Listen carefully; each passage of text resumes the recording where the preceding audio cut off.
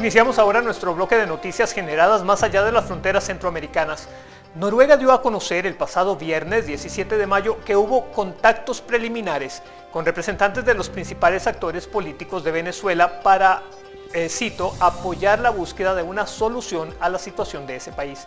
En esa fecha anunció que el proceso estaba en una fase que llamó exploratoria. Esas conversaciones se retoman esta semana en un escenario complicado por el interés no solo de la oposición y el gobierno en disputa, sino de otros países en el desarrollo de esta situación. Y desde Noruega, Celia Mendoza, nuestra experimentada colega de La Voz de América, está con nosotros vía Skype para conversar al respecto. Así que bienvenida Celia, gracias y como siempre decimos, qué gusto conversar contigo.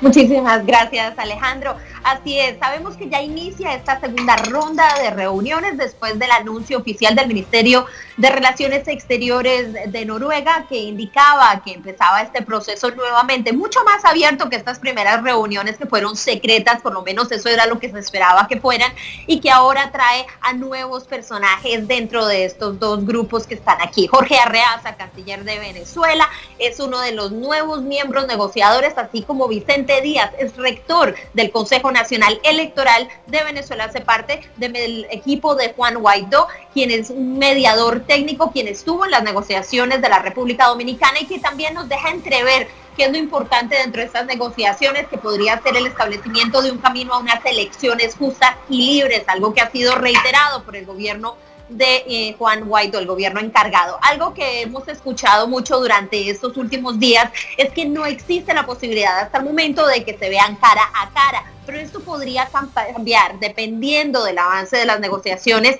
y de qué manera el gobierno en disputa de Nicolás Maduro pueda demostrar que tienen una posibilidad real de negociar abiertamente con una salida a esta crisis que sea beneficiosa para el pueblo venezolano. Sin embargo, miembros de la comunidad internacional como el Grupo de Contacto, Rusia, Cuba, han dicho que esta es la mejor opción. Las negociaciones por parte de Noruega, un experimentado eh, negociador, quien tuvo un papel significativo durante las negociaciones del gobierno entre Colombia y las FARC, pero que además de esto tiene un registro internacional de ser... Eh,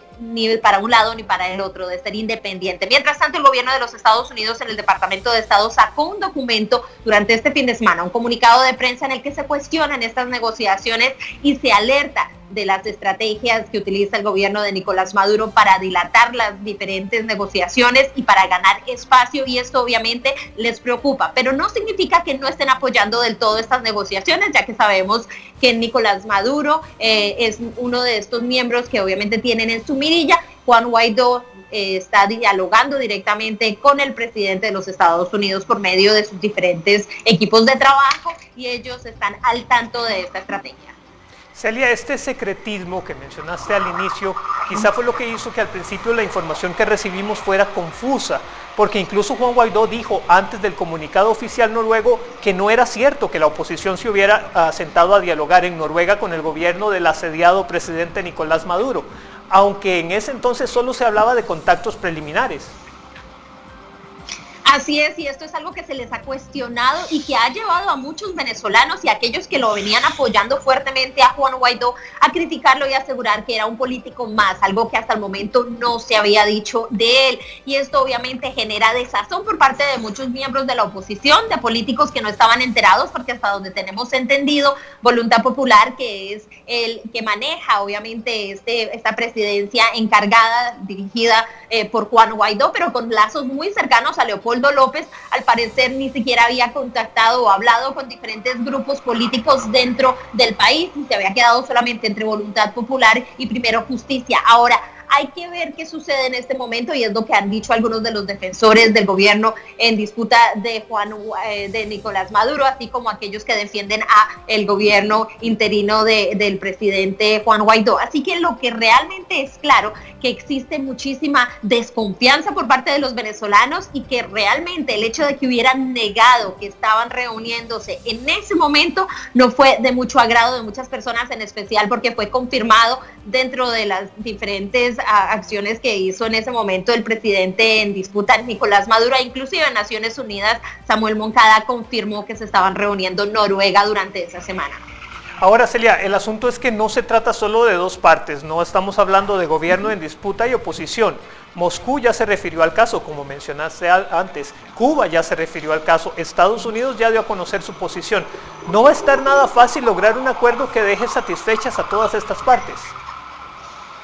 Esta es una complicada parte que se tendrá que manejar durante los próximos eh, días. Estas reuniones en Noruega serán claves y para eso Noruega será el papel eh, fundamental dentro de estas negociaciones, porque tiene la experiencia y obviamente tiene las diferentes maneras de dialogar, no solamente con los miembros del gobierno en disputa, ni también poco con la oposición, pero también han trabajado directamente con los diferentes gobiernos y en este caso Cuba. Recordemos, como te mencionaba, en las negociaciones de Colombia y las FARC terminaron siendo establecidas como sede permanente de estas negociaciones en La Habana y donde Noruega fue el fundamental para ese proceso. Y además de ello tenemos todo el tema que se ha venido desarrollando y es cómo va a actuar el grupo de contacto. Y esto es algo que Juan Guaidó dijo durante este fin de semana que se venían cosas acerca de esto. El grupo de Lima, a pesar de que ha sido muy fuerte, se ha mantenido hasta cierto punto aislado de estas negociaciones. Recordemos que tan solo hace dos semanas se hablaba de que el grupo de Lima estaría reuniéndose con el grupo de contacto, pero parece que esas reuniones han sido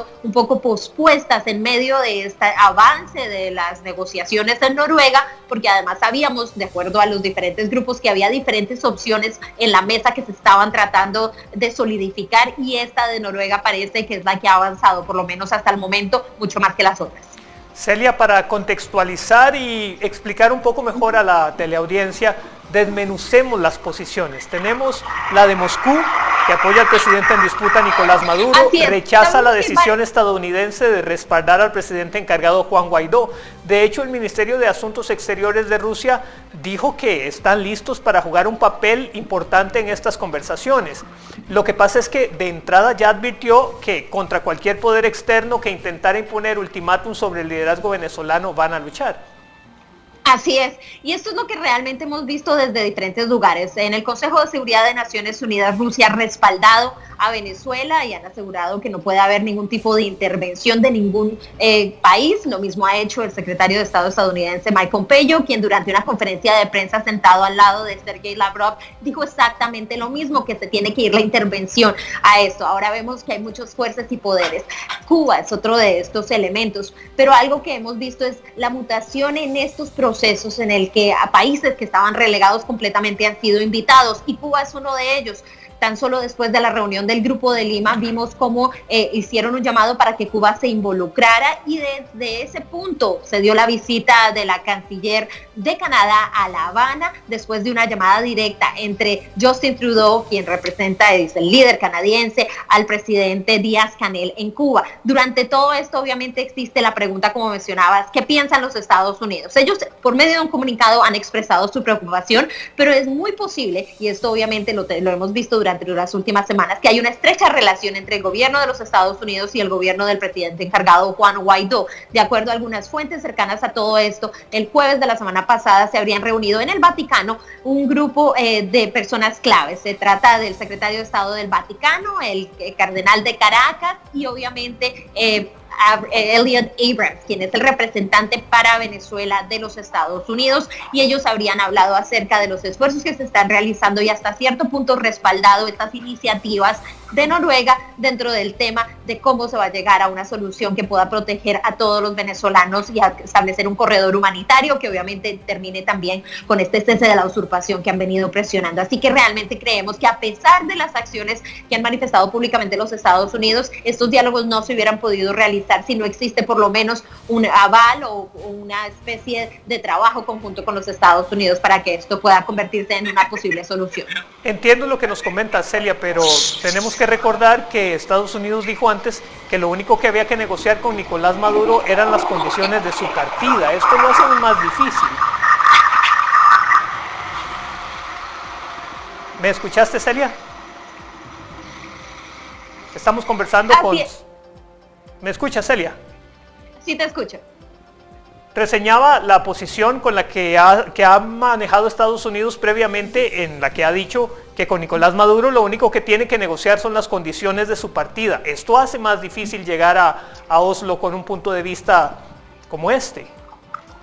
Realmente lo es, pero hay que recordar cómo funciona el gobierno estadounidense y de acuerdo a tan solo un reporte de hace una semana y media del Washington Post, el gobierno de Estados Unidos y en especial el presidente Donald Trump sintió que las presiones que se habían manifestado hasta el momento, lideradas en especial por el señor Bolton, no eran realmente lo que él quería hacer. A pesar de que se habló mucho de una intervención militar, el presidente de los Estados Unidos, de acuerdo a este reporte, eh, con algunas fuentes internas, indicaba que el presidente sentía que no tenía la información correcta y que él pensaba que era mucho más fácil sacar a Nicolás Maduro del poder y que no se iba a necesitar poner tantos esfuerzos e inclusive acción militar, algo que sería muy difícil en este momento cuando Estados Unidos está enviando tropas para tratar de buscar una salida a, la situación en Irán, donde ha asegurado que mandaría más tropas a Irak en este proceso, en la eh, situación y las tensiones que crecen en Irán, que parece que Venezuela se ha puesto un poco en la, en el, de una manera menos relevante en el tema de una acción militar, algo que hasta el momento el presidente de los Estados Unidos había dicho que se mantienen todas las opciones sobre la mesa, ha reiterado su esfuerzo, pero hay que recordar que también él en este punto pensaba que ya se hubiera removido a Nicolás Maduro y eso de acuerdo a los reportes cercanos es lo que le ha permitido que empiece a permitir otras acciones y una posibilidad de una salida por medio diplomático y no militar. Parece que todo se alinea entonces a la propuesta hecha por el grupo de contacto que busca elecciones libres y justas. ¿Es correcto? Así es, el tema de las elecciones libres y justas parece ser lo que va a mantenerse como la primera parte de este proceso. De ahí la presencia del señor Díaz, es rector del, eh, del el Centro Nacional Electoral, que esto va a ser fundamental porque estas elecciones, el cuestionamiento y la pregunta es si Nicolás Maduro se le permitiría ser parte de estas elecciones, ser parte de los miembros del gobierno que estarían poniéndose en la balota electoral. Eso generaría muchísima controversia, pero podría ser algo a lo que cedería la oposición, de acuerdo a fuentes cercanas, siempre y cuando el proceso de elección se haga con una completa y total eh, transparencia, donde no existan los mismos sistemas que están actualmente y eso obviamente significaría no usar al Consejo Electoral eh, Nacional Electoral, el CNE, que hasta el momento ha sido visto como una, una herramienta del gobierno para mantenerse allí. Muchísimas gracias Celia, definitivamente esto no se va a resolver en un día. Gracias por tus aportes, daremos seguimiento al desarrollo de las conversaciones y esperamos tener pronto un nuevo contacto. Hasta entonces. Muchísimas gracias Alejandro. Es momento de una pausa, continúe informándose con CB24.